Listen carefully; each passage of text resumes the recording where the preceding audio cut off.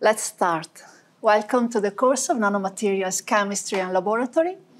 Uh, let me briefly introduce myself. I'm Elisa Moretti. I teach and develop my research at the Department of Molecular Sciences and Nanosystems of Ca' Foscari University of Venice. Uh, my research activity is focused on uh, the development, so the synthesis, the design, synthesis, and characterization of inorganic nanomaterials with controlled size, porosity, morphology, and crystalline phases for uh, uh, environmental and energy-related applications. Um, now let's move to an overview on uh, materials at the nanoscale. It's a small world after all. This is an introductory lesson to nanomaterials. So in uh, this first lesson, there's uh, very few chemistry, unfortunately.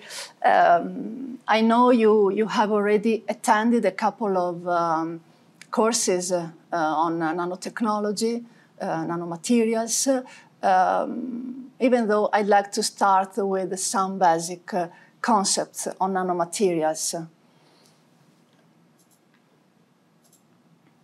And I'd like to start with an emblematic sentence by Leonardo da Vinci.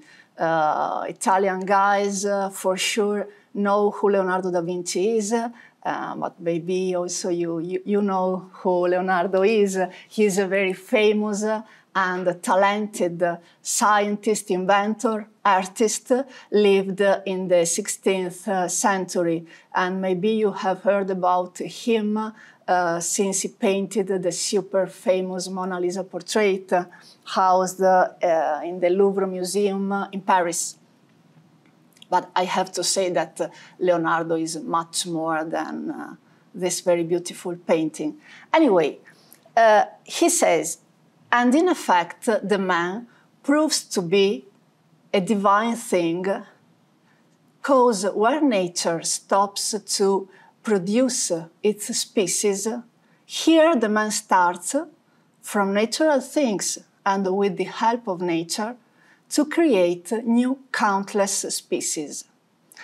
This sentence embodies the concept of materials chemistry, uh, that is, the controlled manipulation of nature to obtain, he says, to create endless new species in the sense of compounds, materials and, of course, uh, nanomaterials. One of the greatest uh, challenges for scientists is to mimic the wonders of nanoscience already present in nature. Uh, in fact, in its uh, uh, four billion years of existence, nature has found surprising solutions to its problems, designing and creating systems capable of self organizing up to the atomic level. And uh, surprisingly, most of what nature does takes place at the nanoscale, controlling matter at atomic and molecular levels means uh, tailoring the fundamental properties belonging to the phenomena. And of course, this is uh, the, the, the final challenge of scientists. So, to be able to mimic nature, developing the ability to combine atom with atom, one atom at a time, molecule to molecule, moving from, from small to larger scale, uh, and imitating natural processes and creating new matter. So, why uh, nanotechnology is so interesting, so important, and so special. Uh, nanomaterials are the starting point of the promised nanotechnology revolution. Uh, the word nanotechnology sometimes seems to suggest something uh, that belongs far in the future, but nanoparticles that are the building blocks of nanotechnology are all around us right now and have been all around us throughout human history. Uh, they were with us when uh, human beings began making their first tools, and they are present in products that uh, uh we buy in the grocery store every day. right now. So nanotech, nanotechnology involves the ability to see and control individual atoms and molecules, realizing high-tech systems. I'd like to underline that nanotechnology is not simply, simply chemistry. it's not so simply. Anyway, uh, because uh, uh, so the, it's not simply chemistry in the sense uh, synth to synthesize new molecules, uh, something that chemists and uh, alchemists before uh, have done very well since very long time, since centuries, okay? It's something very different. It can be seen as the boundary between atoms, molecules, and the macro world, where the properties are dictated by the fundamental behavior of atoms.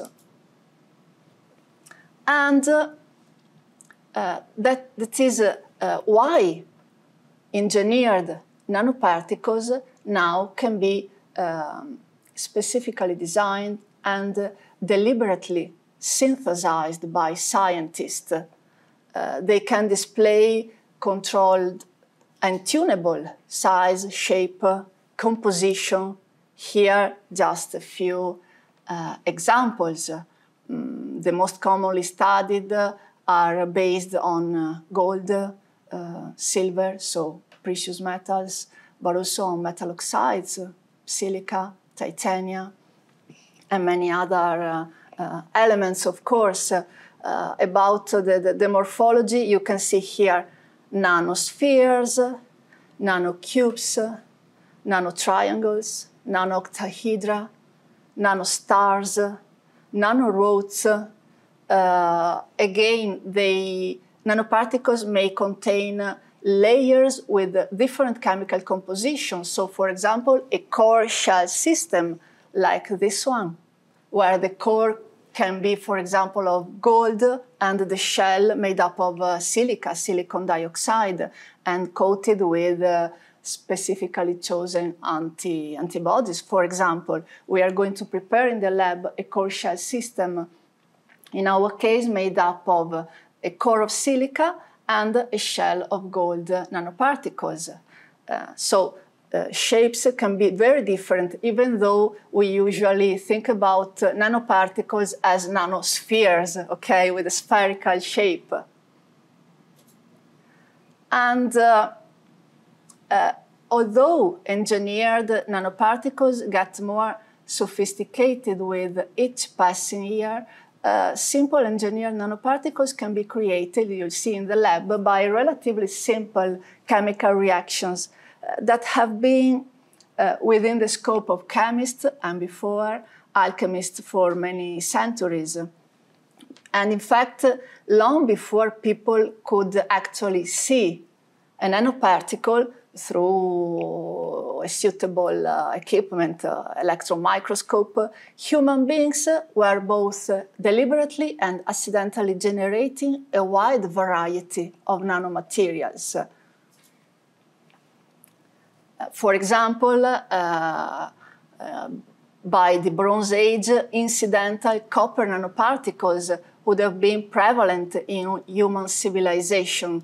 Uh, it's hard to say when human beings started making incidental nanoparticles, of course, but probably as soon as people started taming fire, uh, you can find small uh, nanoscale particles of soot in, uh, in the smoke, in the embers, okay?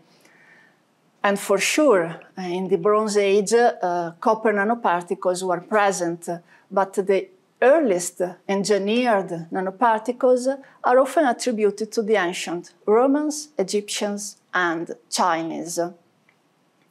Uh, despite not uh, having uh, any idea about the scientific implications of what they were making, uh, they were successfully able to prepare uh, nanoparticle colloidal solutions, uh, mainly of gold and other precious metals with uh, a precise control over the size and the composition and, and also the shape we are going to see in detail. Of course, the most representative example is uh, the Lycurgus cup. Maybe you have heard about it. Of course, uh, uh, it is preserved at the British Museum. Uh, the cup was perhaps made in Rome or Alexandria, three, four centuries before Christ. And the most remarkable aspect of the cup is, of course, its color. Uh, illuminated from outside, uh, the cup exhibits a green jade color due to the diffusion of light, of light. But a ruby red color, um, it displays a ruby red color when illuminated from inside, in this case due to the transmission of light. And this effect is caused by the presence of gold and silver nanoparticles.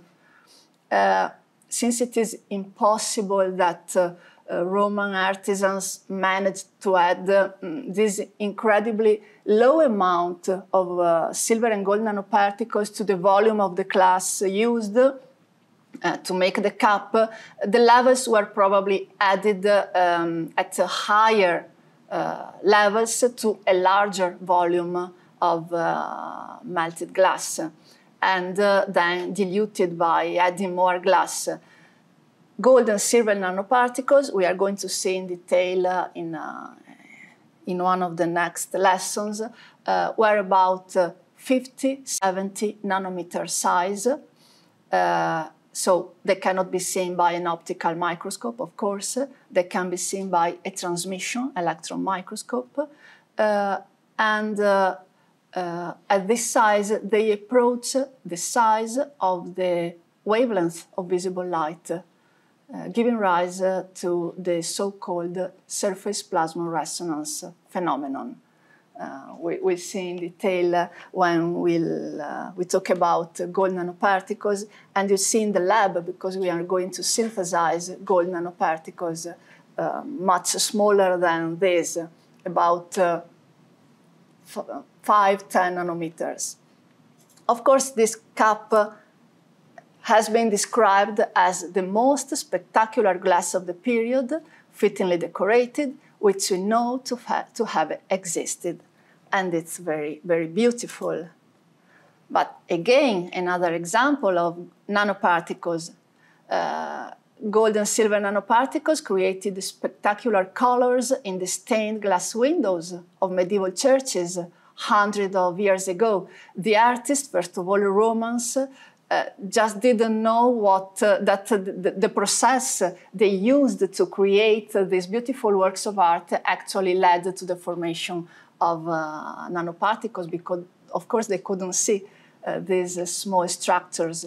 And i reported here um, the roses nord stained glass in the cathedral notre dame de chartres in france.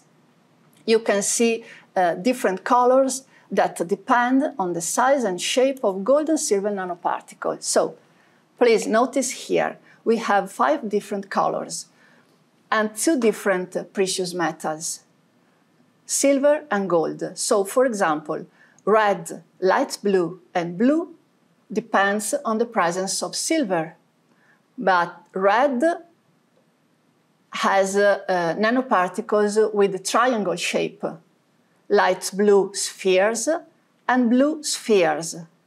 But um, if, uh, if, we compare light blue and blue, the, the color are due to the presence in both cases by silver nanoparticles. In both cases, nanospheres.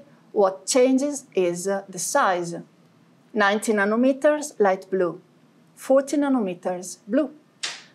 And the same for gold nanoparticles. Yellow and green are due to the presence of gold nanospheres. In one case, the size is 100 nanometer. For green, 50 nanometers. Okay? And of course, uh, this uh, color change is due to, the, to a peculiar optical effect that is uh, the localized surface plasmon resonance and is typical of gold and silver nanoparticles. And here again, you can see uh, the presence of gold and silver nanoparticles with different size and shape. Okay, triangles, spheres. Uh, here we have uh, something like octahedra, and different colors. Uh, once scientists had the right tools, uh, the age of nanotechnology was born. And in recent decades, the development of microscopes capable of displaying particles as small as atoms has allowed scientists to see what they, they are working with. Uh, so you can see that, for example, SEM and TEM scanning electron microscope and transmission electron microscope are very, very recent. They were developed less than one century ago. And uh, STM and AFM, so uh, scanning tunneling microscopy and uh, uh atomic force microscopy, are very, very recent, mm, developed in 1981, uh, 1982. And nowadays, of course, scientists are finding a wide variety of uh, ways to design and synthesize materials at the nanoscale. Of course, taking advantages of uh, their uh, uh, different and enhanced properties in comparison with uh, the, their bulk massive counterparts.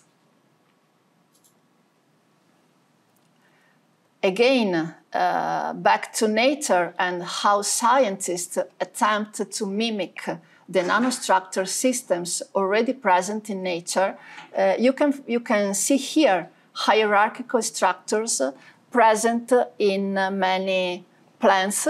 For example, this is uh, um, an optical appearance of plant uh, surfaces and their corresponding microstructure. For example, here we have uh, the Magnolia grandiflora leaves, and uh, that uh, the leaves appear very uh, glossy because of this uh, flat surface at the micro nanostructure. Uh, the dahlia flower leaves appear velvety because of this peculiar uh, microstructure. The same for the white appearance of, uh, of this flower. Uh, it is caused by a dense array of uh, hairs.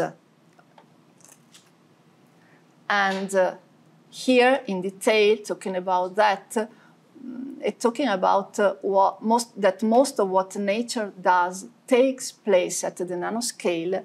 Here you can find four types of superior properties that can be found in hierarchical natural surfaces.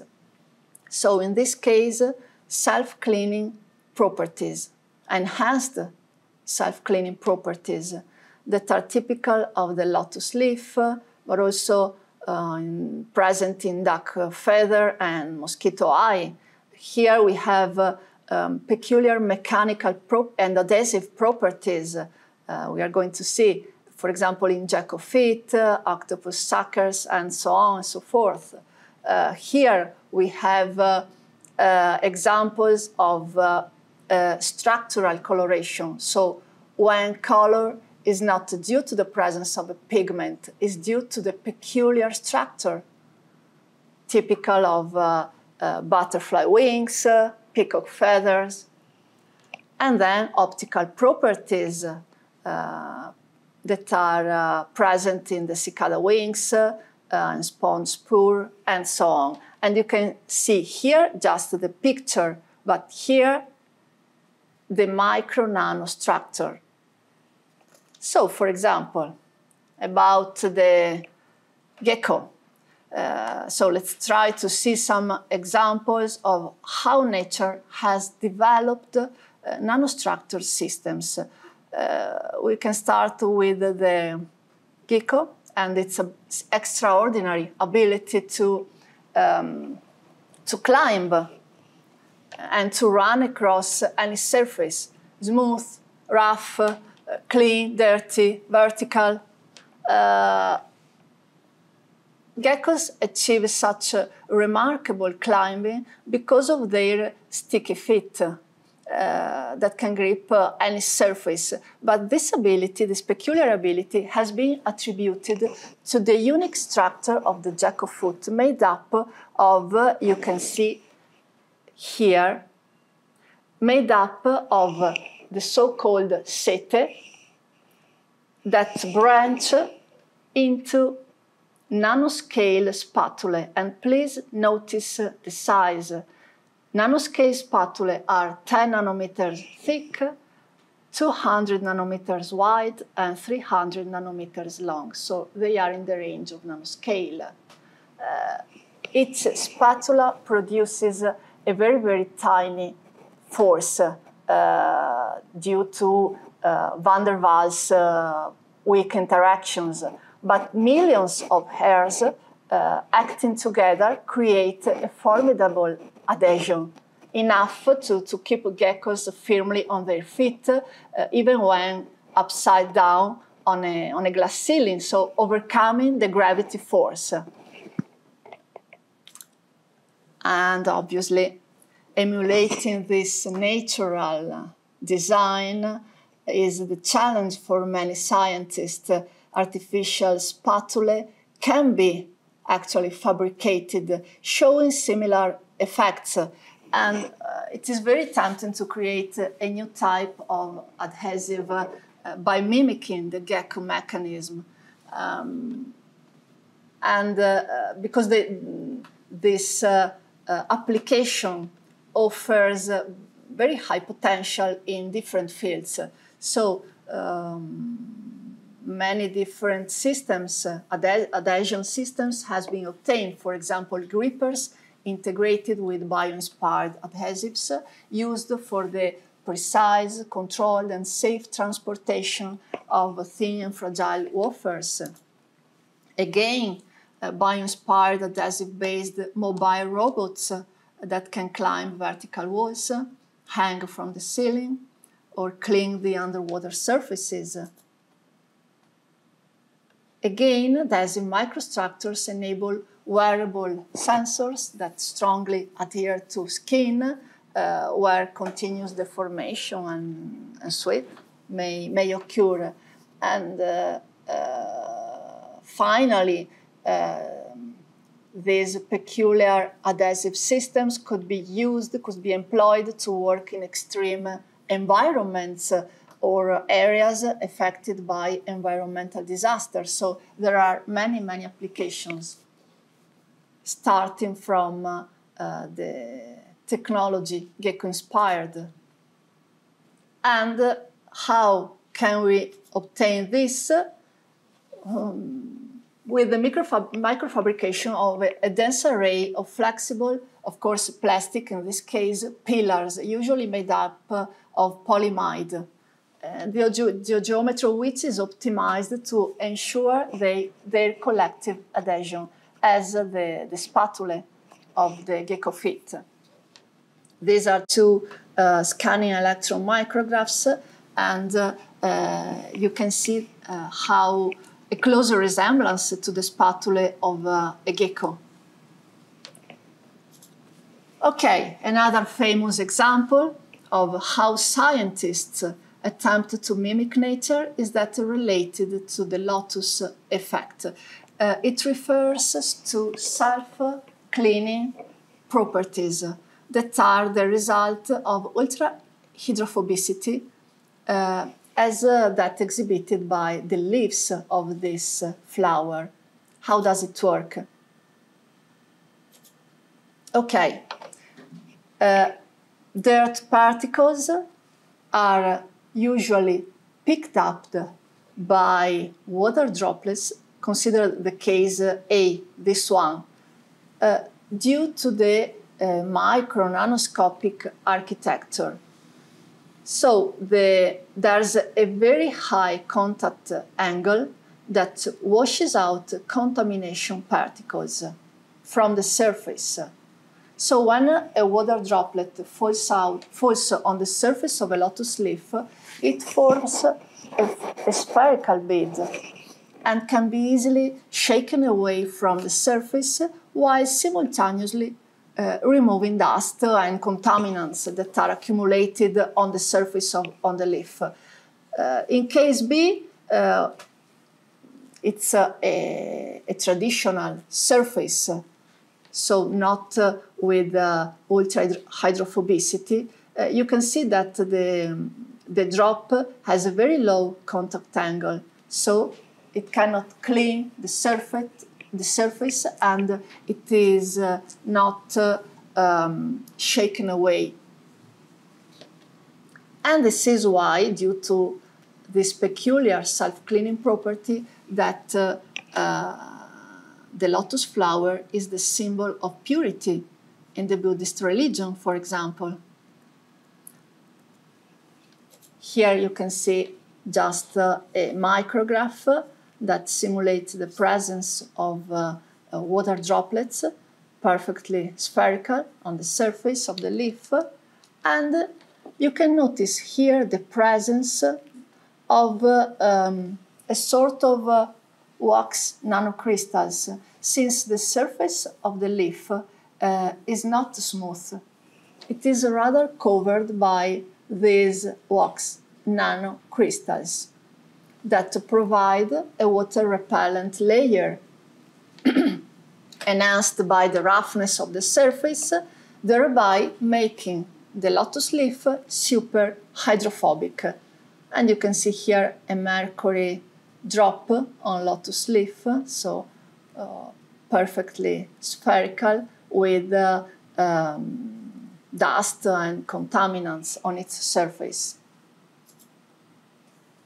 we can mimic um, the lotus effect uh, by prepare treatments, coatings, paints, roof tiles, textiles that uh, replicate the self-cleaning properties of the lotus plant. So here you can see that uh, um, this is of course a synthetic approach that can be achieved by using fluorochemical silicone treatments on the surface and uh, what kind of application. Uh, of course, uh, these self-cleaning um, mechanism can be applied to paints, glass, uh, textiles, and more, reducing, reducing, for example, the need for chemical detergents reducing uh, the costly labor. Uh, you can see here no more scrubbing of shower screens, no more Spiderman window cleaner. And uh, this is a, a nanotechnology already applied. Again, uh, we, we keep on mimicking nature with the shark skin inspired swimsuit um, you know that uh, many species of animals uh, have super hydrophobic properties uh, on specific parts of their bodies or uh, on the whole body, like the feathers of some species uh, of birds uh, or the wings of some insects or the skin of the shark. And this is the micro nanostructure. Maybe you already know that uh, there's a, uh, a, revolutionary swimsuit that reproduces shark skin, uh, creating a dual vortex systems that can um, channel water and accelerate uh, its outflow from the body. And testing by athletes resulted in an increase of their performance of 3%. 3% is really much if you consider that a gold medal uh, sometimes depends on a hundredth uh, of a second, okay? And for example, uh, Michael Phelps, uh, the, the Baltimore Bullet, do you know Michael Phelps? Yes, you have to know. It is the most decorated Olympian of all time. He's an American swimmer that uh, used uh, that kind of uh, swimsuit.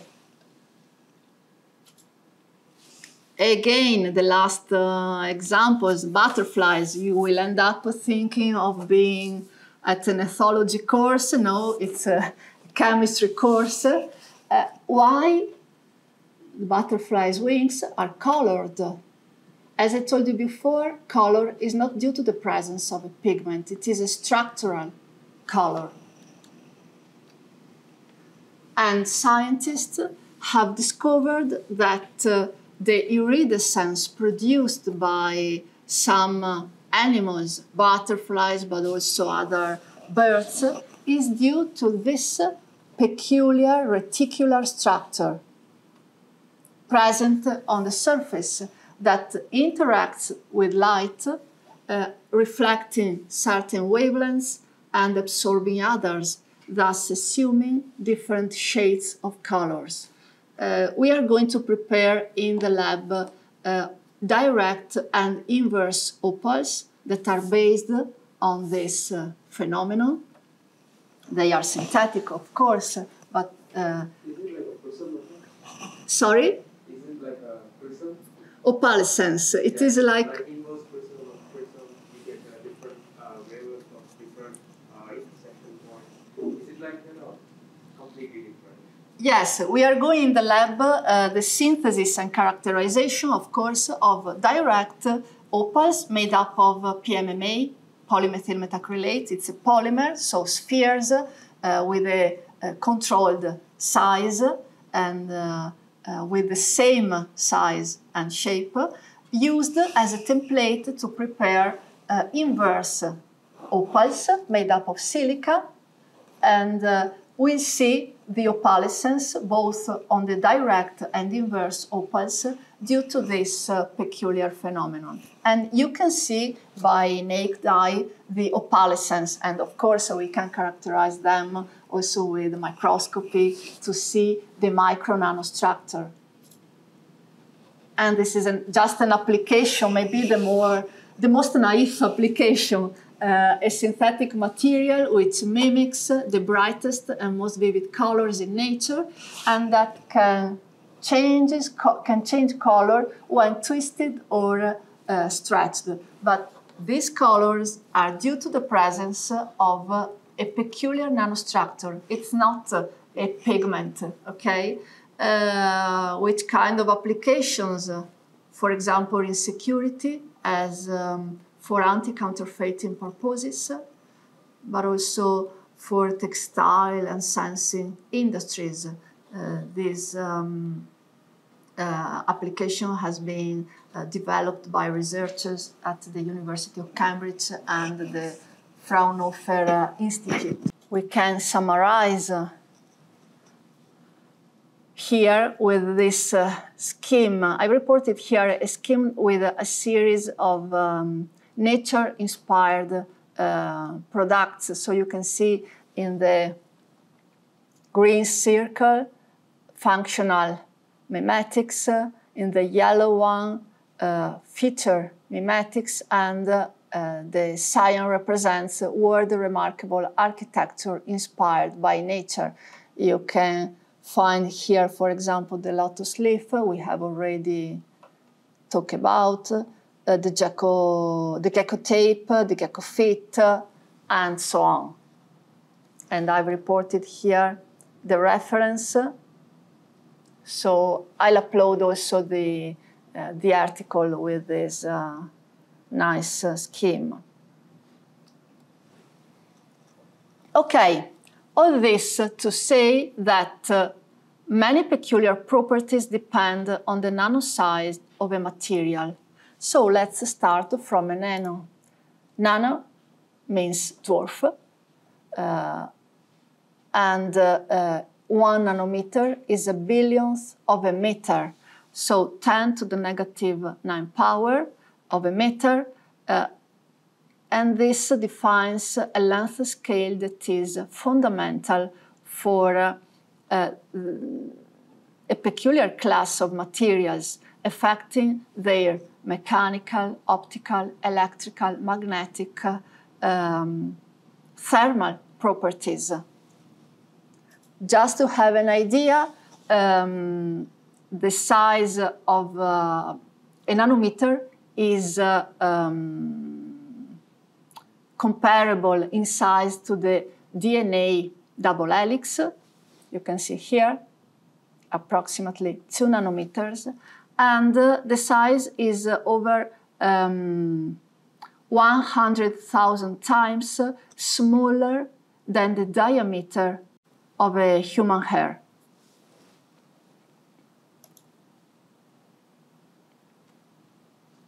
This is the definition you have to know. One of the definitions.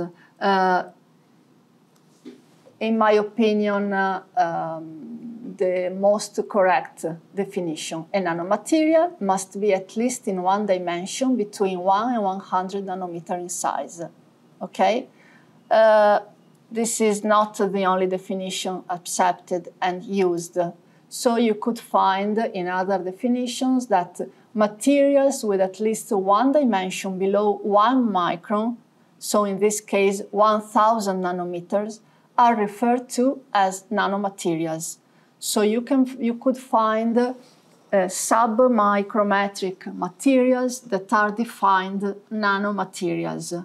I prefer to consider this definition, okay? So a nanomaterial must be at least in one dimension between 1 and 100 nanometers. This is the range. And these are some examples.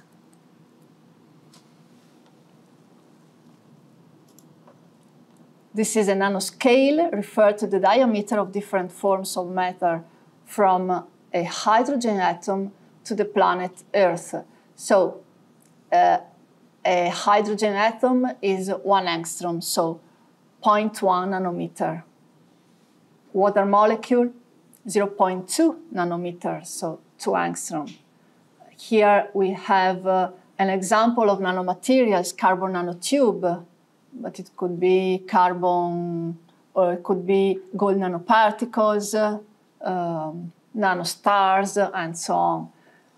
The DNA double helix, and uh, again, red globule, dust mite, uh, uh, one euro coin, till the, the planet Earth, that is in nanometer 12.7 peta nanometers, okay?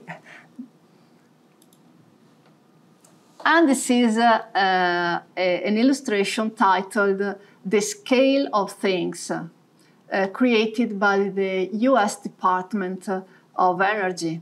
Uh, it provides a comparison of various objects um, to help you to, to, to envision exactly how small a nanometer is. So uh, you have natural and man-made things. Uh, the chart starts with uh, objects that can be seen by an unaided uh, eye, such as an ant in this case, and uh, um, progresses to objects that, uh, that are about a nanometer or less in size, as in this case, DNA, atoms of silicon, or uh, the molecule uh, uh ATP uh, used in uh, humans to store energy from food.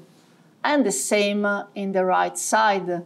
Man made things started from the head of a pin with an area of 1 2 millimeters down to carbon nanotubes, carbon buckyball.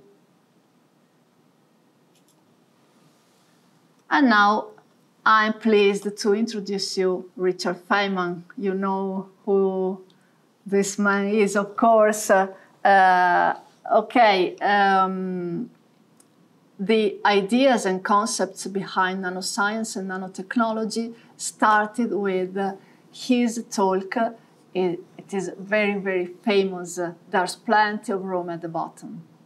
Uh, this talk was given at uh, an American Physi- uh, a meeting of the American Physical Society at the Caltech, the California Institute of Technology, in 1959, so many years ago, and long before the term nanotechnology was used.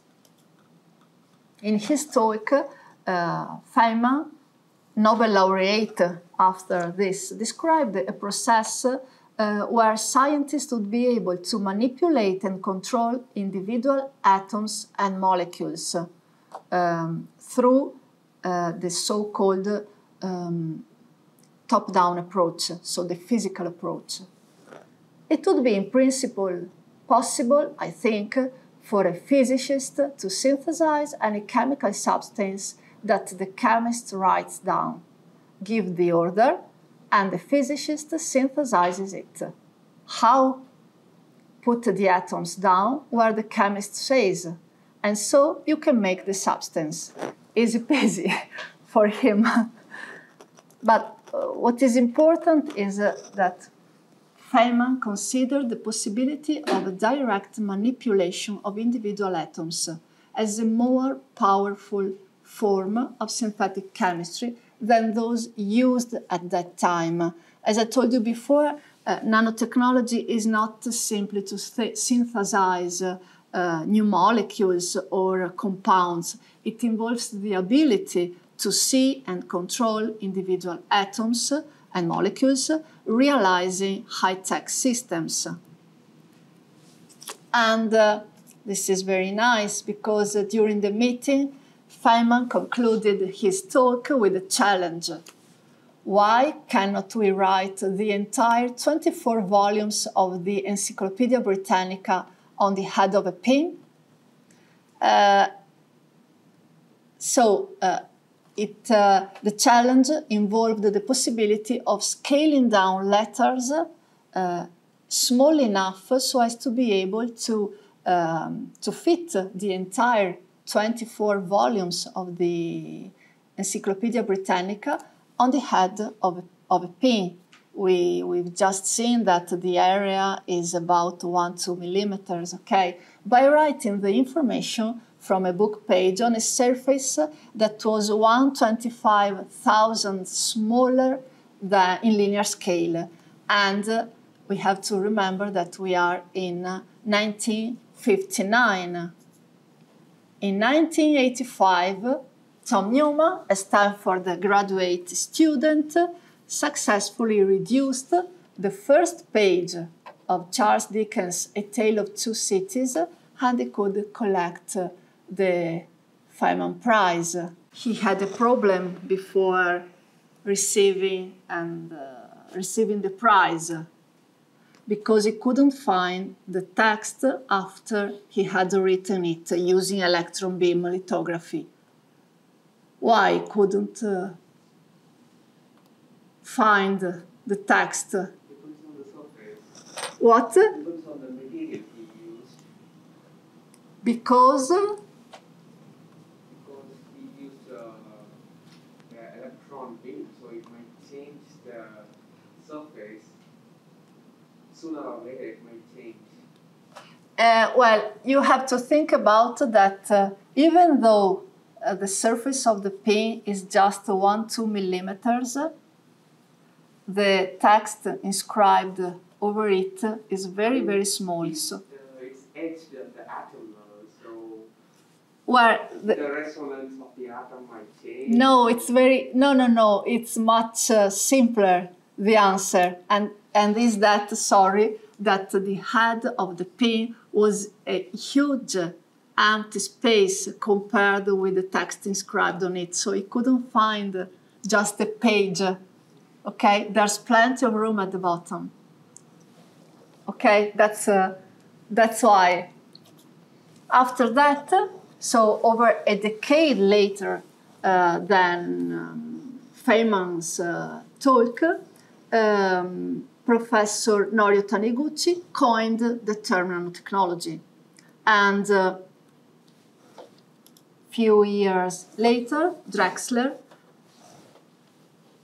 um, described a new approach, different from the top down, the um, top down approach, so the physical approach proposed by Feynman.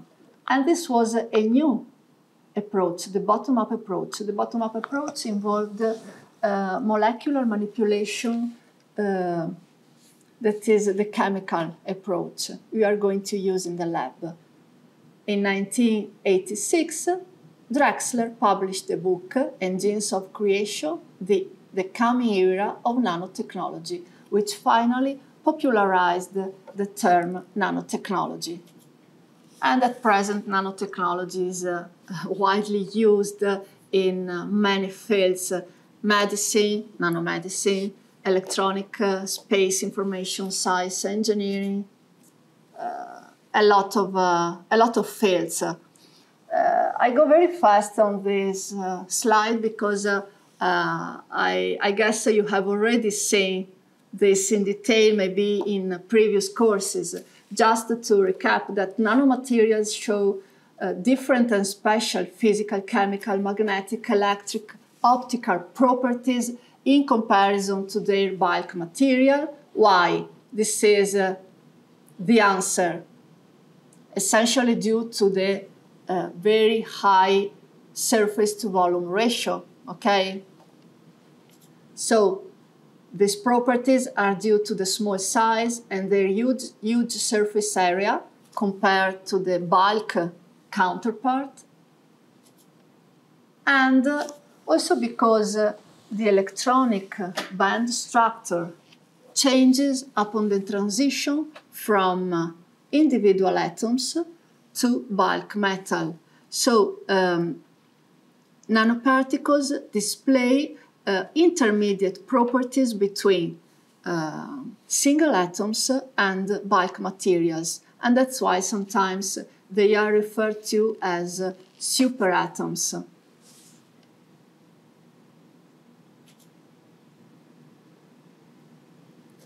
Okay, why nanomaterials so are so important? Essentially two reasons. The first one, the opportunity to exploit new properties due to the size effect. And the second one is uh, the need to miniaturize. Just to, um, to give you a couple of examples.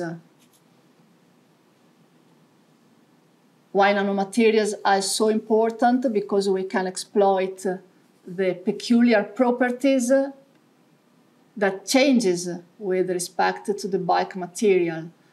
Physical properties change, for example, the melting point changes.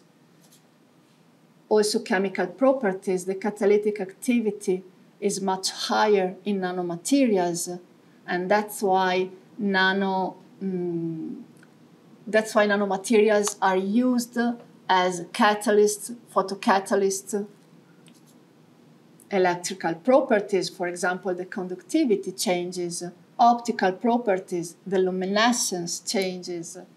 Again, thermal properties in, in terms of heat transfer, insulation, mechanical properties, strength of a material change from bulk to nano.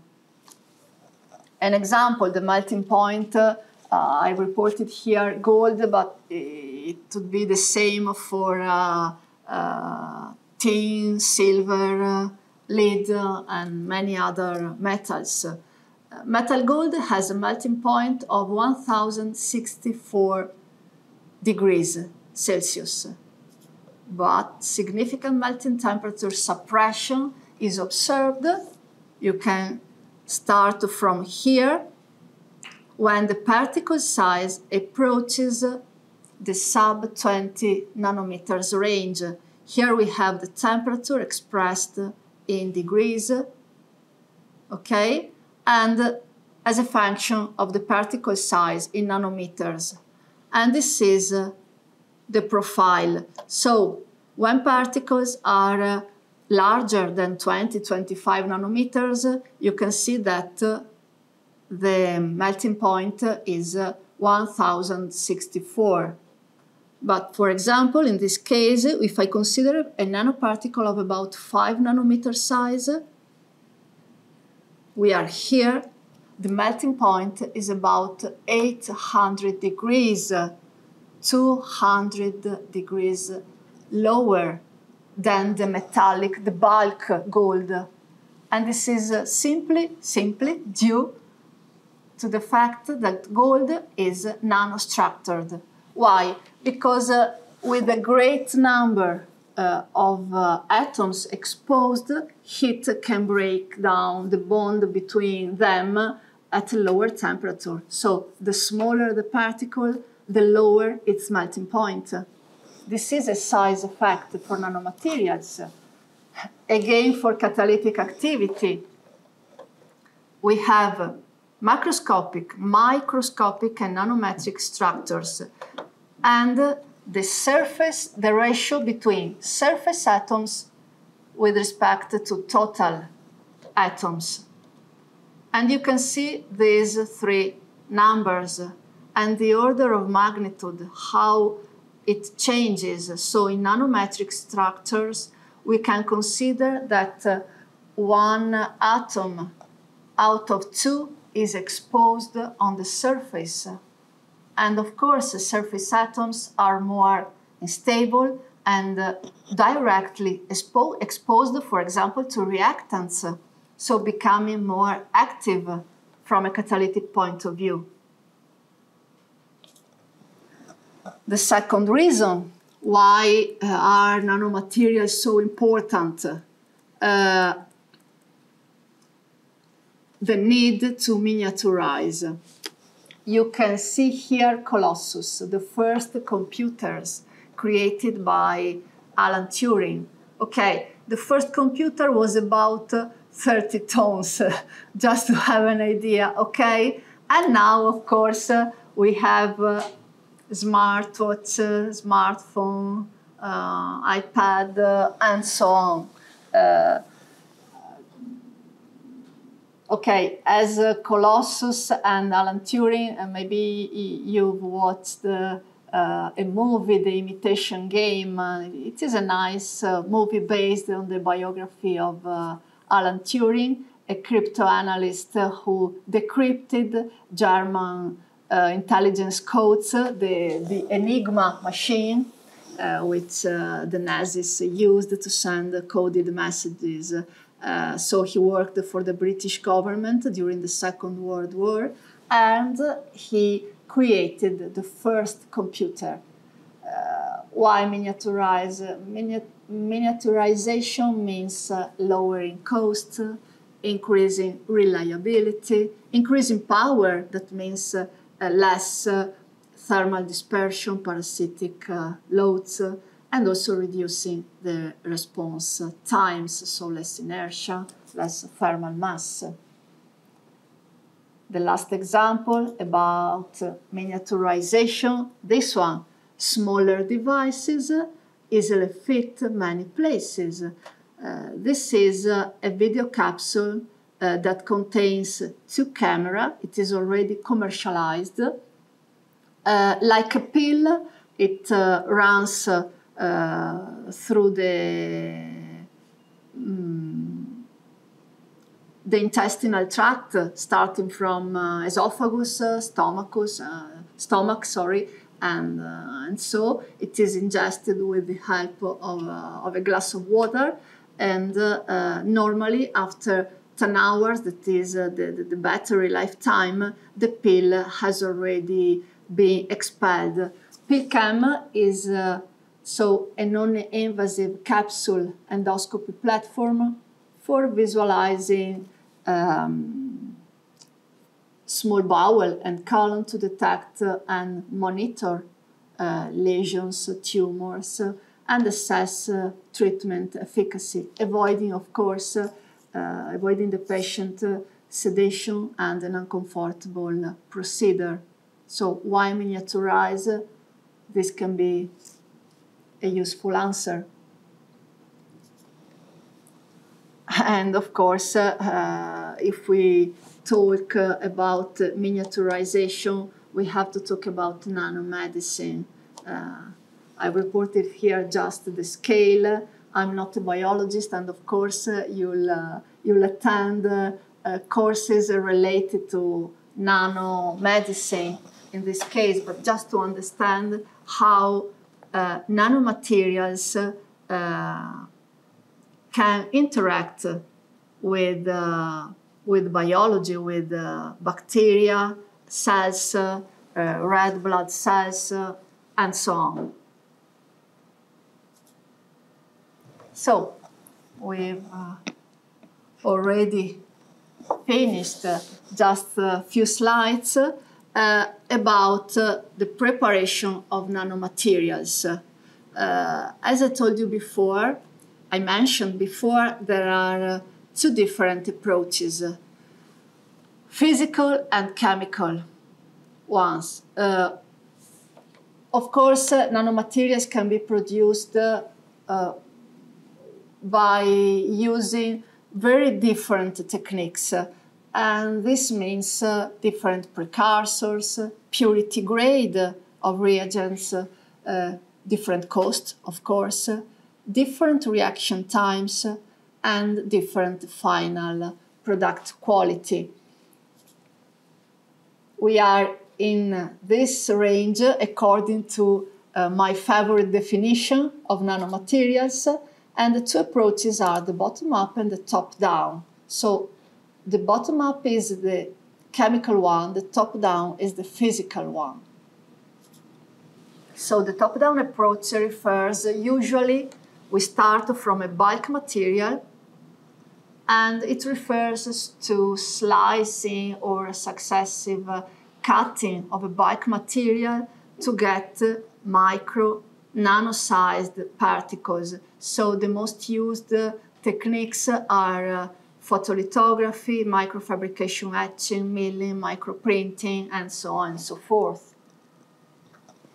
The bottom-up approach is the chemical one, so it refers to the ability to self-organize, self-assembly a nanostructure material starting from atomic or molecular levels. And um, going to a nanoscale structure. The most used um, techniques, methodologies are the spray vapor pyrolysis, precipitation coprecipitation, hydrosolvothermal synthesis, sol gel approach, microwave assisted synthesis, microemulsion, reverse micelles, sonochemical synthesis. I use almost all of them in my research lab, and we are going to see some of them during this course, both from a theoretical point of view and then in the lab. We are going to use, uh, for example, the sol gel approach, uh, the microemulsion approach, and some others. Uh, both uh, approaches, the bottom up approach and the top down one, can be carried out in vapor uh, liquid, solid, supercritical phase and uh, under, uh, um, under vacuum. Um, since I'm a chemist and this is a course of advanced inorganic chemistry, we are going to use uh, in the lab uh, the bottom up approach, so the chemical uh, one, and um, we see in detail different synthetic methodologies. I think that uh, for today, it's uh, that's all. Thank you very much for your kind attention.